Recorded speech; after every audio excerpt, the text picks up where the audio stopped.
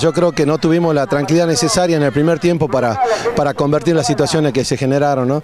Pero bueno, lo importante es que tercer partidos que no nos convierten en este tipo de, de partidos de, de, finales, porque son finales las que se juegan de 180 minutos, es muy importante que no te conviertan porque de mitad de cancha para adelante tenemos jugadores que, que pueden convertir un gol en cualquier momento. ¿Qué dijiste en el entretiempo? Porque algo pasó al minuto, fue el gol.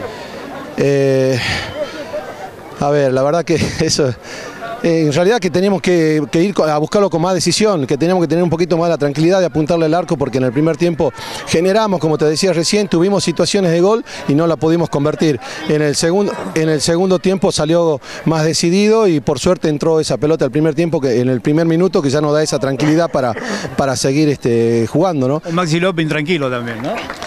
Eh, ansioso, ansioso porque por, por querer cumplir, por querer cumplir, por eh, por querer este, dar más, porque es en la realidad, querer dar más, por ahí iba demasiado rápido y tenía que pensar un poquito más en algunas definiciones. ¿no? ¿Por dónde pasó el triunfo entonces?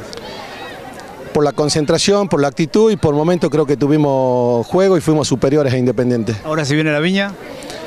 Sí, rival difícil, eh, con un técnico que conoce este plantel, conoce las cosas a favores y en contra de este plantel, un técnico que trabaja, un técnico que, que ya le cambió la cara a la viña para ir a, ganar una fase en Tabacal que no es nada, nada fácil.